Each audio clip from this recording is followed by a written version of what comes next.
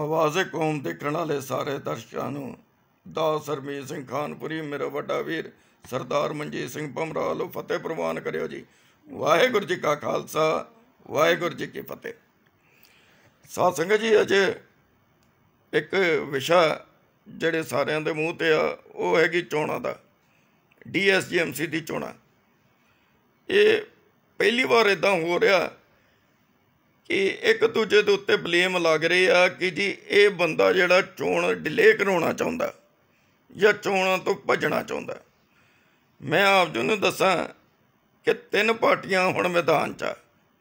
ਸਾਰਿਆਂ ਤੋਂ ਪਹਿਲੀ ਅਕਾਲੀ ਦਲ ਦਿੱਲੀ, ਜਦੇ ਸਰਨਾਪਰਾ ਹਨ। ਦੂਜੀ ਜਾਗੋ, ਜਿਹੜੀ 6 ਸਾਲ ਪਹਿਲਾਂ ਅਕਾਲੀ ਦਲ ਬਾਦਲ ਸੀ। ਜਿਹੜਾ ਰਹਿ ਕੇ ਉਹਨਾਂ ਨੇ ਆਨੰਦ ਮਾਣਿਆ ਪ੍ਰਧਾਨਗੀ ਦਾ।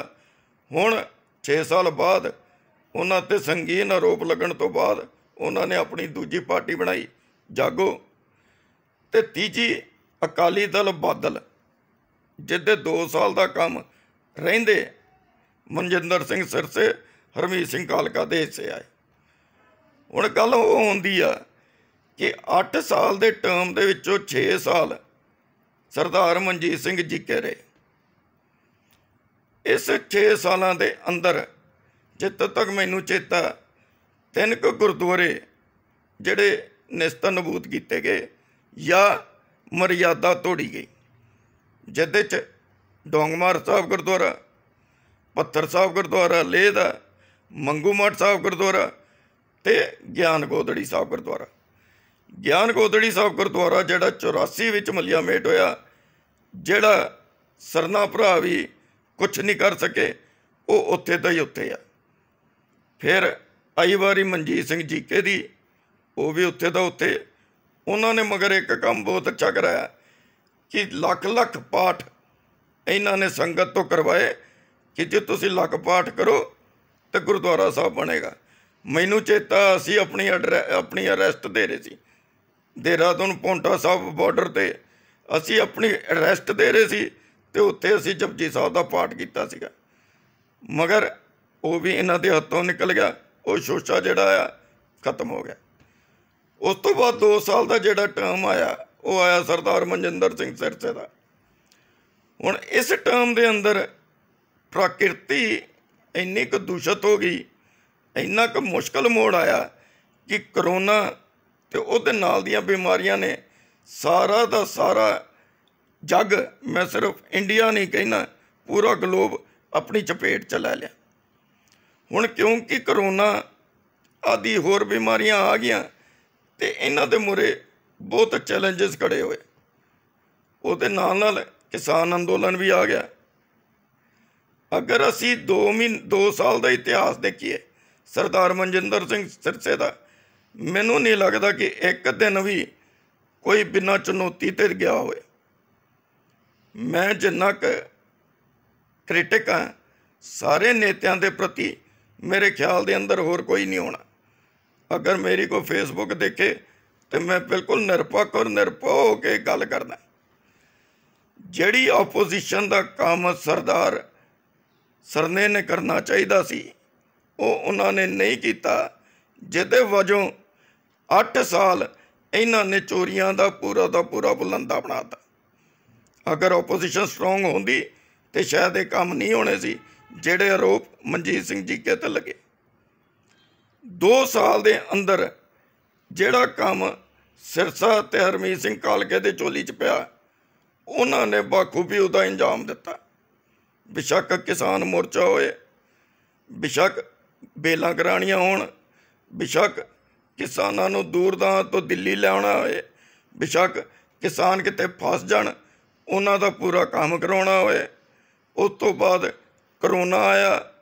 ਕਰੋਨਾ ਦਾ ਉਹਨਾਂ ਨੇ ਜਿਹੜਾ ਕੰਮ ਕੀਤਾ 125 ਬੈੱਡ ਤੋਂ ਸ਼ੁਰੂ ਕਰਕੇ 400 ਬੈੱਡ ਲੱਕੀ ਸ਼ਾਹ ਵੰਜਾਰਾ ਹਾਲ ਚਲਾਉਣ ਦਾ, ਉਸ ਤੋਂ ਬਾਅਦ ਕਿਡਨੀ ਹਸਪੀਟਲ ਬਣਾਉਣ ਦਾ, ਉਸ ਤੋਂ ਬਾਅਦ 125 ਬੈੱਡ ਕੋਵਿਡ ਨੂੰ ਸਮਰਪਿਤ ਦਾ, ਉਸ ਤੋਂ ਬਾਅਦ ਗੁਰਦੁਆਰਿਆਂ ਦੇ ਸੁੰਦੀਕਰਨ ਕਹਿਣ ਦਾ ਭਾਵ ਆ ਕਿ 2 ਸਾਲ ਜਦੋਂ ਗੁਰਦੁਆਰੇ ਸੰਗਤ ਨਹੀਂ ਸੀ, ਫਿਰ ਵੀ ਇਹਨਾਂ ਨੇ ਆਪਣੇ ਬਾਖੂਬੀ ਅੰਜਾਮ ਦਿੱਤਾ। ਇਹ ਚੀਜ਼ ਮੈਂ ਇਸ ਕਰਕੇ ਕਹਿ ਰਿਹਾ ਕਿਉਂਕਿ ਮੈਂ ਆਪ ਇਹਨਾਂ ਚੀਜ਼ਾਂ 'ਚ ਵੜ ਕੇ, ਦੇਖ ਕੇ ਤਾਂ ਗੱਲ ਕੀਤੀ ਆ। ਮੈਂ ਸੁਣੀ ਸੁਣਾਈ ਗੱਲਾਂ ਤੇ ਗੱਲ ਨਹੀਂ ਕਰਦਾ। ਹੁਣ ਗੱਲ ਆ ਗਈ ਚੋਣ ਦੀ। ਹੁਣ ਚੋਣ ਤੋਂ ਭੱਜਦਾ ਕੌਣ ਆ? ਚੋਣ ਤੋਂ ਉਹ ਭੱਜੂਗਾ ਜਿਹਦੇ ਪੱਲੇ ਕੱਖ ਨਾ ਹੋਏ ਜਾਂ ਜਿੰਨੇ ਕੁਝ ਕੀਤਾ ਨਾ ਹੋਵੇ। ਮੇਰੇ ਹਿਸਾਬ ਦੇ ਨਾਲ ਸਰਨਾ ਸਾਹਿਬ ਹੁਣ ਤੇਜ ਹੋਏ ਆ, ਉਹ ਚੋਣ ਤੋਂ ਨਹੀਂ ਭੱਜਣਾ ਚਾਹੁੰਦੇ। ਮੁਬਾਰਕ ਆ। ਜੀਕੇ ਸਾਹਿਬ ਜਿਹੜੇ 6 ਸਾਲ ਇੱਕ ਕੁਰਸੀ ਤੇ ਬੈਠ ਕੇ ਵਿਸ਼ਾਖ ਬਰਗਾੜੀ ਹੋਏ ਵਿਸ਼ਾਖ ਬਬਨ ਕਲਾਂ ਹੋਏ, ਉਹਨਾਂ ਦੇ ਨਾਲ ਬਾਦਲਾਂ ਦੀ ਹਾਂ ਜਾਂ ਮਿਲਾਉਂਦੇ ਰਹੇ। ਤੇ ਇਹ ਜਿਹੜੇ 2 ਸਾਲ ਛੁੱਟ ਕੇ ਆਏ ਆ ਇਹਨਾਂ ਨੂੰ ਸਾਰੇ ਕੋੜੇ ਲੱਗਣ ਲੱਗ ਗਏ ਤੇ ਇਹ ਹੁਣ ਦਮ ਭਰਦੇ ਆ ਕਿ ਮੈਨੂੰ ਹੀ ਚੋਣ ਚਾਹੀਦੀ ਆ ਤੇ ਮੈਂ ਜਿੱਤ ਕੇ ਜਾਊਂਗਾ, ਉਹ ਵੀ ਮੁਬਾਰਕ ਆ। ਤੇ ਤੀਜਾ ਆ ਗਿਆ ਸਿਰਸਾ ਗਰੁੱਪ ਜਿਹੜਾ ਕਹਿੰਦਾ ਜੋ ਅਸੀਂ ਕੀਤਾ ਉਸ ਤੇ ਵੋਟ ਪਾਓ। ਹੁਣ ਗੱਲ ਆ ਕਿ ਤਿੰਨੋਂ ਪਾਰਟੀਆਂ ਚੋਣਾਂ ਤੋਂ ਨਹੀਂ ਭੱਜ ਰਹੀਆਂ, ਮਗਰ ਚੋਣ ਕਿਉਂ ਨਹੀਂ ਹੋ ਰਹੀ, ਇਹ ਇੱਕ ਗੰਭੀਰ ਵਿਸ਼ੇ ਆ। ਮਜ਼ੇ ਦੀ ਗੱਲ ਆ ਹੁੰਦੀ ਆ ਕਿ ਸਾਡੇ ਇੱਥੇ ਜਿਹੜੇ ਜਿਹੜੇ ਚੋਣ ਲੜਨਾ ਚਾਹੁੰਦੇ ਆ ਸਾਰਿਆਂ ਤੇ ਪਰਚੇ 420 ਦੇ ਆ। ਮੈਨੂੰ ਨਹੀਂ ਸਮਝ ਆਉਂਦੀ ਕਿ ਅਸੀਂ ਇਹ ਡਾਕੂਆਂ ਦੇ ਟੋਲੇ ਚੋਂ ਸਾਧ ਕਿੱਦਾਂ ਢੂੰਡ ਲਾਂਗੇ।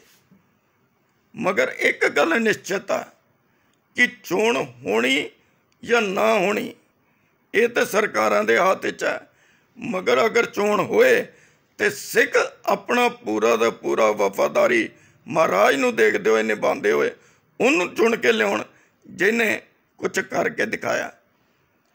ਇਹ ਹੁਣ 18 ਤਰੀਕ ਦੀ ਚੋਣ ਜਿਹੜੀ ਕੱਲ ਪ੍ਰੈਸ ਕਾਨਫਰੰਸ ਹੋਈ ਆ, ਸਰਦਾਰ ਮਨਜਿੰਦਰ ਸਿੰਘ ਸਿਰਸਾ ਦੇ ਵੱਲੋਂ, ਉਹਨਾਂ ਦੀ ਪਾਰਟੀ ਵੱਲੋਂ ਕਿ ਇਹਨਾਂ ਨੇ ਕੇਜਰੀਵਾਲ ਨੂੰ ਲਿਖ ਕੇ ਦਿੱਤਾ ਕਿ ਇਹ ਚੋਣ ਕਰਵਾਈ ਜਾਏ। ਅਗਰ ਤੁਸੀਂ ਇਹ ਚੋਣ ਨਹੀਂ ਕਰਾਉਂਗੇ ਤੇ ਸਾਨੂੰ ਅੱਗੇ ਪ੍ਰਦਰਸ਼ਨ ਕਰਨਾ ਪਿਆ ਤੇ ਅਸੀਂ ਕਰਾਂਗੇ। ਬਹੁਤ ਮੁਬਾਰਕ ਕਦਮ ਹੈ ਹੋਣਾ ਚਾਹੀਦਾ। ਇਹੋ ਉਮੀਦ ਰੱਖਦੇ ਹਾਂ ਦੂਜਿਆਂ ਤੋਂ ਵੀ। ਅਸੀਂ ਆਪ ਚਾਹੁੰਦੇ ਹਾਂ ਚੋਣ ਹੋਏ ਕਿਉਂਕਿ ਮਹਾਰਾਜ ਨੇ ਜਿਹਨੂੰ ਸੇਵਾ ਬਖਸ਼ਣੀ ਹੈ, ਉਹਨੂੰ ਬਖਸ਼ਣੀ ਹੈ। ਮਗਰ ਸਰਕਾਰਾਂ ਦਾ ਅੰਦਰ ਦਾ ਕੀ ਖੇਡ ਆ, ਉਹ ਸਾਨੂੰ ਨਹੀਂ ਪਤਾ। ਮਗਰ ਮੈਂ ਇੱਕ ਗੱਲ ਹੋਰ ਕਹਿਣਾ ਜਿਸ ਹਿਸਾਬ ਦੇ ਨਾਲ ਹਾਲਾਤ ਦੁਬਾਰਾ ਖਰਾਬ ਹੋ ਰਹੇ ਆ, ਇਸ ਨੂੰ ਧਿਆਨ ਵਿੱਚ ਰੱਖਦੇ ਹੋਏ ਚੋਣ ਦਾ ਡਿਸੀਜਨ ਲੈਣਾ ਚਾਹੀਦਾ। ਅਗਰ ਤੀਜੀ ਵੇਵ ਤੋਂ ਪਹਿਲਾਂ ਇਹ ਕੰਮ ਹੋ ਸਕੇ ਵਾਹ ਭਲਾ ਨਹੀਂ, ਤੇ ਇਹਨੂੰ ਅਗਰ ਅੱਗੇ ਕਰਨਾ ਚਾਹੇ ਤੇ ਕੋਈ ਹਰਜ ਨਹੀਂ। ਇੱਕ ਗੱਲ ਮੈਂ ਸਪਸ਼ਟ ਕਰਨਾ ਚਾਹੁੰਦਾ ਕਿ ਜਿਹੜੇ ਜਿਹੜੇ ਬੰਦੇ ਇਸ ਚੋਣ ਦੇ ਅੰਦਰ ਦਮ ਭਰਦੇ ਆ, ਉਹਨਾਂ ਵਿੱਚੋਂ ਮੈਂ ਅੱਜ ਤੱਕ ਕਿਸੇ ਬੰਦੇ ਨੇ ਦੂਜੇ ਤੇ ਆ ਇਲਜ਼ਾਮ ਲਾਉਂਦਿਆਂ ਨਹੀਂ ਦੇਖਿਆ ਕਿ ਤੇਰੇ ਰਾਜ 'ਚ ਮੈਂ ਇੰਨੇ ਸ਼ਰੀਰ ਅੰਮ੍ਰਿਤ ਛਕਾਏ ਬਿਨਾ ਰਹਿ ਗਏ। ਕਿਹੜਾ ਬੰਦਾ ਜਿਸ ਨੇ ਦੂਜੇ ਤੇ ਉਂਗਲ ਕਰਕੇ ਕਹੀ ਕਿ ਤੁਹਾਡੇ ਟਰਮ ਦੇ ਅੰਦਰ ਅੰਮ੍ਰਿਤ ਸੰਚਾਰ ਘਟ ਹੋਇਆ? ਕਿਹੜਾ ਬੰਦਾ ਜਿਸ ਨੇ ਗੱਲ ਕੀਤੀ 84 ਦੇ ਅੰਦਰ ਜਿਹੜੇ ਪੀੜਤ ਆ, ਅਸੀਂ ਉਹਨਾਂ ਲਈ ਰੇੜੀਆਂ ਉਹਨਾਂ ਲਈ ਸਕੂਟਰ, ਉਹਨਾਂ ਲਈ ਬੈਟਰੀ ਰਿਕਸ਼ੇ ਕਰਕੇ ਦਿੱਤੇ।